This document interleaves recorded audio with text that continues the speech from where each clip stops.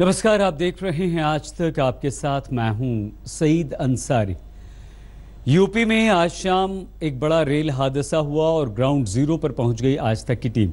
मुजफ्फरनगर के खतौली में शाम पौने छह बजे कलिंग उत्कल एक्सप्रेस की आठ बोगियाँ पटरी से उतर गई। हादसे में अब तक तेईस लोगों के मारे जाने की पुष्टि हो चुकी है और इस समय वहाँ पर रेस्क्यू ऑपरेशन चल रहा है। ग्राउंड रिपोर्ट पर पहुँच चुके हैं। ग्राउंड ज़ीरो पर हमारे संवाददाता पुनीत शर्मा और पुनीत शर्मा सबसे पहले पहुँचे। उनकी ये पहली रिपोर्ट। शनिवार की शाम को पुरी से चलकर हरिद्वार जाने वाली कलिंगा उत्कल एक्सप्रेस जैसे ही मुजफ्फरनगर के पास खतौली पर पहुँची कि अचानक पटरी से उतर गई। एक जोरदार आवाज़ हुई और उसके बाद आठ डिब्बे पटरी से उतर के आप देख सकते हैं कि जो ट्रेन की रफ्तार है, वो कितनी ज़्यादा रही होगी। डिब्बे जो है, वो एक के ऊपर एक चढ़े हुए इनमें हज़ारों की तादाद में जो मुसाफिर थे वो यात्रा कर रहे थे। अचानक एक तेज रफ्तार आवाज़ की वजह से सभी में हड़कंप मच गया जब तक वो कुछ समझ पाते कि अचानक जो ट्रेन थी वो पटरी से उतरकर पलट गई। आप देख सकते हैं कि ये जो ट्रेन है वो पूरी तरीके से पलटी हुई है यहाँ पर। और इस डिब्बे के बराबर में आप देख सकते हैं कि सड़क थी। और सड़क के दूसरी तरफ़ जो ये स्कूल बना हुआ है ये स्कूल तक ये जो डिब्बा है वो स्कूल के अंदर घुस गया है और इस हादसे में तकरीबन तेईस से ज़्यादा मौतों की पुष्टि अभी तक प्रशासन ने कर दी है अस्सी से ज़्यादा जख्मी है जिनको मुजफ्फरनगर मेरठ और खतौली के अस्पतालों में भर्ती कराया गया आसपास के इलाकों से जितनी भी ज़्यादा एंबुलेंस थी तकरीबन सौ से ज़्यादा एंबुलेंस इस वक्त मुसाफिरों को अस्पताल पहुँचाने में लगी हुई है जो नौ से ज़्यादा पीएससी की जो टीम है वो स्पॉट पर है एनडीआरएफ की टीम मौके पर आ चुकी है और इस वक्त आप देख सकते हैं कि युद्ध स्तर पर रेस्क्यू ऑपरेशन चल रहा है तमाम भीड़ इकट्ठा है पीएससी और सीआरपीएफ के जवान यहाँ पर मौजूद हैं जो रेस्क्यू ऑपरेशन कर रहे हैं लेकिन अभी तक जो रेस्क्यू ऑपरेशन है वो पूरा नहीं किया जा सका है यहाँ तक कि पाँच बजकर छियालीस मिनट पर यह हादसा हुआ था तीन से चार घंटे का ज़्यादा वक्त बीत चुका है लेकिन लाशों को भी पूरी तरीके से हटाया नहीं जा सका है ये एक बुज़ुर्ग महिला की लाश है जो कि अभी इस ट्रेन के डिब्बे के नीचे फंसी हुई है अभी भी ट्रेन को काट काट कर जो अंदर फंसे हुए लोग हैं मुसाफिर हैं उनको बाहर निकाला जा रहा है कैजुअलिटी के अभी बारे में पूरी तरीके से नहीं बताया गया है, लेकिन प्रशासन ने अभी तक तेईस से ज़्यादा मौतों की पुष्टि कर दी है और लगभग अस्सी से ज़्यादा लोग घायल हैं। अभी भी उम्मीद की जा रही है तीन से चार घंटे का पूरा वक्त लगेगा जब मुसाफिरों को पूरी तरीके से बाहर निकाला जाएगा। रेलवे प्रशासन की आशंका है कि जो मौतों का आंकड़ा है, वो और भी ज़्यादा हो सकता है। फ़िलहाल स्पॉट पर तमाम आला अधिकारी मौके पर मौजूद हैं और युद्ध स्तर पर रेस्क्यू ऑपरेशन लगातार जारी है और घायलों को अस्पताल के जो आसपास के अस्पताल है, वहाँ पर इलाज के लिए भेजा गया है। हमारे संवाददाता पुनीत शर्मा, हादसा हुआ है खतौली में, वहीं पर मौजूद हैं। उनकी ये पहली रिपोर्ट थी, उत्तर प्रदेश में ये बड़ा ट्रेन हादसा हुआ। अभी भी यात्रियों को बचाने के लिए रेस्क्यू ऑपरेशन चल रहा है। आइए सीधे इस वक्त हम आपको लिए चलते हैं खतौली। पुनीत शर्मा हमारे साथ मौजूद हैं। पुनीत, क्या स्थिति है? कितने और यात्री होंगे जो अभी भी फंसे हुए हैं? कब तक ये उम्मीद करें कि सबको निकाल लिया जाएगा? पुनीत बचा लिया जाएगा। देखिए, आपको बता दूँ कि पाँच बजकर छियालीस मिनट पर यह भीषण ट्रेन दुर्घटना हुई है और उसके बाद अभी तक जो है रेस्क्यू की जो है रेस्क्यू की कवायद है, वो लगातार जारी है। अभी भी तमाम लाशें ट्रेन के अंदर फंसी हुई हैं, ट्रेन के नीचे दबी हुई हैं। जब तक उन गड्ढों को काट करके उन डिब्बों को काट करके हटाया नहीं जाएगा, तब तक लाशों को नहीं निकाला जा सकता है। अभी भी तमाम लाशें हमने अपनी आँखों से देखी, आपको भी दिखाया कि किस तरह के ट्रेन के नीचे और ट्रेन के अंदर लाशें अभी पड़ी हुई हैं। इसके अलावा कुछ और लोग हैं जो मुसाफिर हैं, वो अभी तक ट्रेन चूँकि ऊपर चढ़ी हुई थी उनको निकालने की कवायद जारी है। लगभग सभी को फ़िलहाल जो घायल मुसाफिर थे और मुसाफिर थे उनको फ़िलहाल निकाल लिया गया है। लाशों को निकालने का सिलसिला अभी जारी है। ट्रेन के डिब्बे एक के ऊपर एक चढ़े हुए हैं तो ऐसे में अभी ये साफ़ नहीं हो पा रहा है कि और कितनी लाशें अभी ट्रेन के अंदर मौजूद हैं। साथ ही चूँकि सड़क एक बराबर में जा रही थी सड़क के ऊपर तीन डिब्बे गए जो कि स्कूल के अंदर भी घुसे हैं तो अभी उनमें भी कुछ लाशें हो सकती हैं सही पुनीत आप बने रहिए, हम दोबारा आपके पास आएँगे और जानकारी आपसे हासिल करेंगे। हमारे संवाददाता पुनीत शर्मा खतौली में मौका वारदात पर मौजूद हैं और उनसे लगातार हम जानकारी लेते रहेंगे। मुजफ्फरनगर के नज़दीक, खतौली में कलिंग उत्कल एक्सप्रेस हादसे का शिकार हुई है। तेईस लोगों की मौत की पुष्टि अभी तक हो चुकी है, लेकिन डर इस बात का है, जिस तरह से पुनीत भी बता रहे थे कि यह आंकड़ा और भी बढ़ सकता है।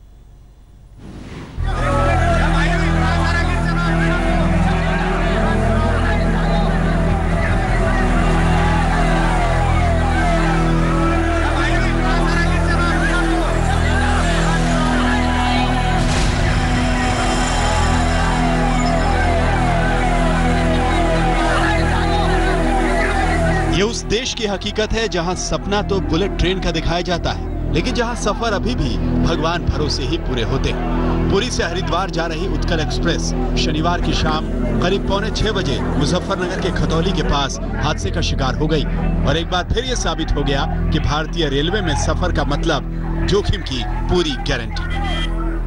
फिर हम तो सो रहे थे। एकदम अचानक क्या हुआ? अचानक ही तो नींद खुला तक गिर गए उधर। एकदम धड़ाम की आवाज़। मैं तो अकेला हूँ बाकी मेरे साथ ठीक है सर। कोई क्या आपके साथ कोई घायल वगैरह तो नहीं हुआ? नहीं मेरे साथ कोई गाल भगवान ने बचा दी हमको ये मोदी मंत्रिमंडल के प्रभु यानी सुरेश प्रभु की रेलवे का हाल है। जहाँ मुसाफिरों की सुरक्षा अगली शताब्दी का सवाल जैसा लग रहा है। सुरेश प्रभु तमाम तरह की योजनाएँ रेलवे में लागू कर रहे हैं। रेलवे को आधुनिक बनाने का अभियान चला रहे हैं। लेकिन मुसाफिरों को सुरक्षित मंजिल तक पहुँचाने की प्राथमिकता लगता है, उनके लिए ज़्यादा मायने नहीं रखती। आपके टीवी स्क्रीन पर दिख रही तस्वीरें सबूत हैं कि रेलवे को लेकर सुरेश प्रभु का विजन किस हद तक पटरी से उतर चुका है। खतौली से अभी कई दिल दहला देने वाली तस्वीरें आएँगी। ये तो अभी शुरुआती तस्वीरें हैं, लेकिन इन्हें देखकर ही आप हादसे की भयावहता का अंदाज़ा लगा सकते हैं। चंद मिनट के भीतर मुसाफिरों से भरी ये ट्रेन मलबे में तब्दील हो गई।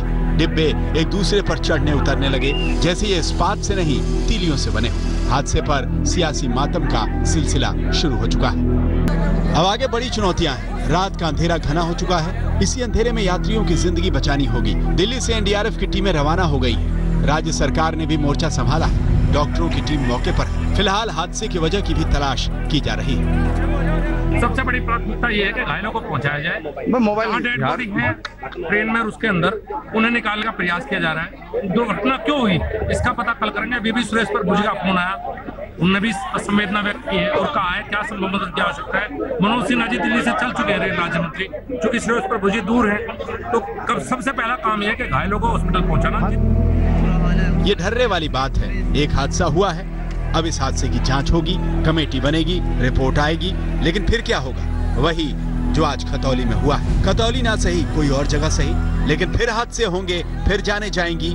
आपको ट्रेन से सफ़र करना है तो जान हथेली पर लेकर चलिए। ये आपकी बला है। सिस्टम और सरकार को इससे क्या लेना देना? आज तक ब्यूरो। राहत और बचाव का काम अभी भी चल रहा है। एनडीआरएफ की चार टीमें रवाना हो चुकी हैं, जो किसी भी वक्त पहुँच चुकी सकती हैं और रात भर वो ट्रेन में फंसे यात्रियों को निकालने की कोशिश करेंगी, घायलों को बचाने की कोशिश करेंगी, ऐसा एनडीआरएफ के डीजी ने आज तक से बातचीत में कहा है। और जब ये हादसा हुआ, उस वक्त ट्रेन काफ़ी तेज़ गति से थी, उसकी स्पीड बहुत ज़्यादा थी। ट्रेन के डब्बे एक दूसरे पर चढ़ गए और ये हादसा इतना गंभीर था कि पास ही में मौजूद बस्ती के एक घर में ट्रेन का एक डिब्बा जा टकराया। उनका क्या कहना? है रही इसकी बात कि मैं यहाँ अपनी गैलरी में खड़ा था मुझे इसका पूरा नज़ारा दिखाई दे रहा है। किस समय की बात है? कब? ये पाँच बज के पच्चीस मिनट में ट्रेन आ रही थी। कौन सी? उत्कल एक्सप्रेस। जी जी। मैं मुझे पढ़ा लिखा जी जी तो जी जी जी। तो जिस वक्त हमें दिखाई दिया हम गाड़ी आ रही मेरी घरवाली बैठी थी यहाँ। हम्म। मेरा बेटा बैठा था मेरी बेटी बैठी। थी। हम्म। जो हमें दिखा ये गाड़ी पलटने लगी हम्म। तो हम एकदम भीतर भाग लिए सब। हम्म। मैं पीछे रह गया थोड़ा सा। तो मेरे मैं बाद गाड़ी तो आगे निकल दी। डब्बा आके मेरे ही मकान में धैटने लगा। हम्म। मेरा मकान सारा तहस नहस कर दिया आगे। हम्म।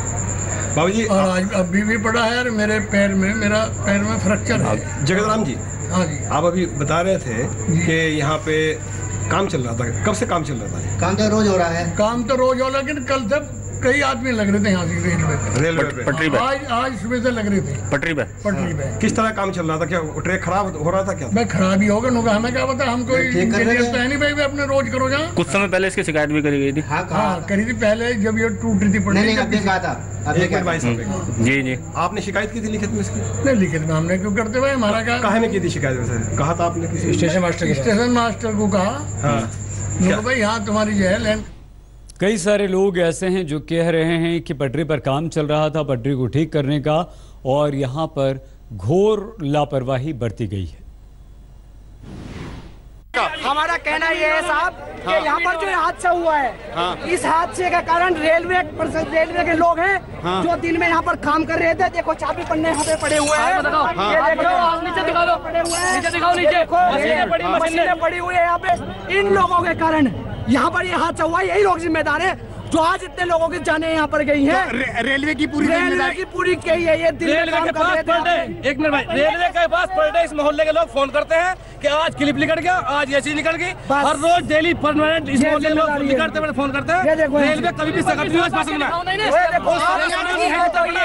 हुआ में देखो आपको मैं दिखा रहा हूँ। ये देखिए ये आप पीछे देखो पीछे देखो पीछे हटो हटो हटो हटो ये ये देखो साहब ये देखो ये देखो अरे हट तो जाओ देखिए ये देखो ये थोड़ा पड़ा ये देखो नीचे नीचे रखो, नीचे रखो, नीचे ये सामान पड़ा देखो ये कहीं पड़ा इनके ये देखो ये देखो ये काम पड़ा ये ये ये असल चीज़ है ये रेलवे की तरफ़ से यहाँ पे रेलवे की तरफ़ से काम चल रहा था रेलवे के द्वारा यहाँ पर ये घटना घटी है। जनरेटर जनरेटर देखो जनरेटर ये देखो ये देखो ये रे ये रे ये जनरेटर की मशीन इस वक्त क्या स्थिति है? हम आपको सीधे लिए चलेंगे खतौली। हमारे संवाददाता पुनीत शर्मा वहाँ पर मौजूद हैं। एनडीआरएफ की टीमें वहाँ पर पहुँच रही हैं और एटीएस भी जाँच करने के लिए वहाँ पहुँच रही है। और आइए, इस वक्त हम आपको सीधे लिए चलते हैं खतौली। हमारे संवाददाता पुनीत शर्मा वहाँ पर मौजूद हैं। पुनीत राहत और बचाव का काम किस तरह से चल रहा है? कौन लोग हैं जो यात्रियों को बचाने की कोशिश कर रहे हैं?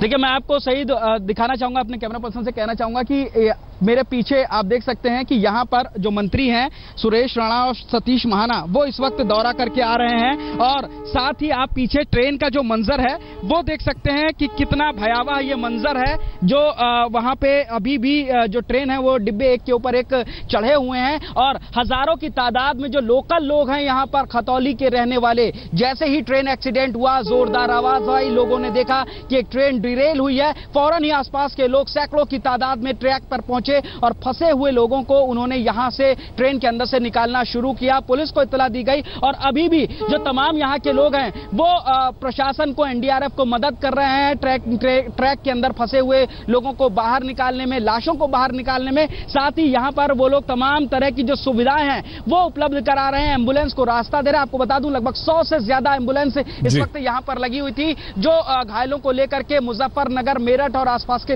अस्पताल में गई है। सईद। हमारे पुनीत हमारे संवाददाता लगातार बने हुए हैं, लेकिन जितेंद्र बहादुर सिंह भी हमारे तमाम संवाददाता मौके पर हैं जो रिपोर्टिंग कर रहे हैं। जितेंद्र, कोई और जानकारी? एनडीआरएफ की टीमें चार टीमें पहुँचने वाली थी। कितनी टीमें रास्ते में हैं? कब तक एक एक यात्री को निकाल लिया जाएगा? जितेंद्र, क्या कोई कुछ बात हो पाई है आपकी?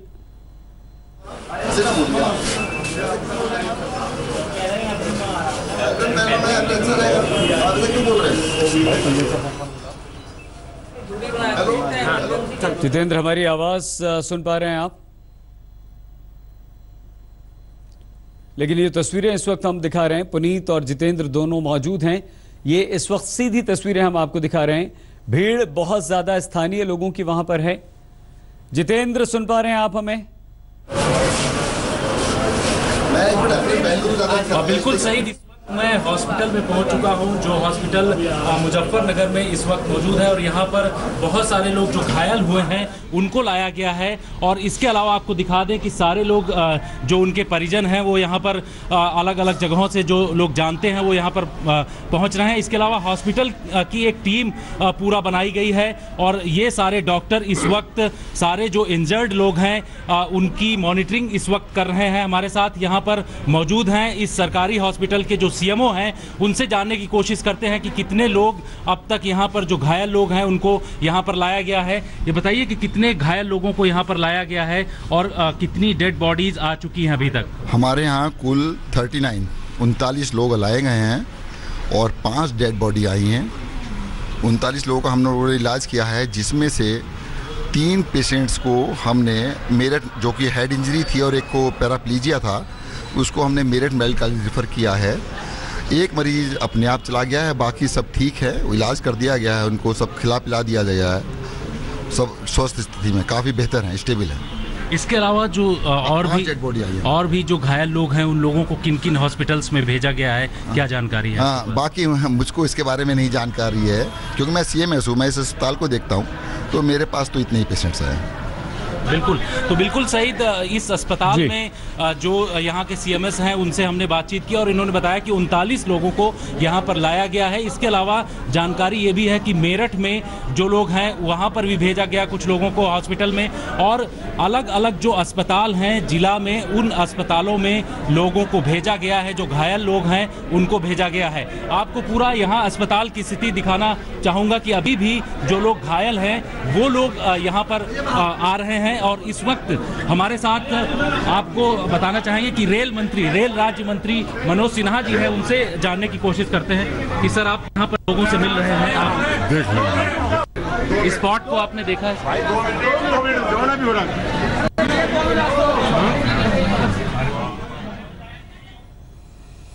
मनोज सिन्हा रेल राज्य मंत्री ने जवाब नहीं दिया वो वहाँ से चले गए। जितेंद्र ने उनसे सवाल भी पूछा। पुनीत शर्मा हादसे वाली जगह पर हैं। हम होते हैं बस कुछ ही देर में हाजिर। देखते रहिए आज तक।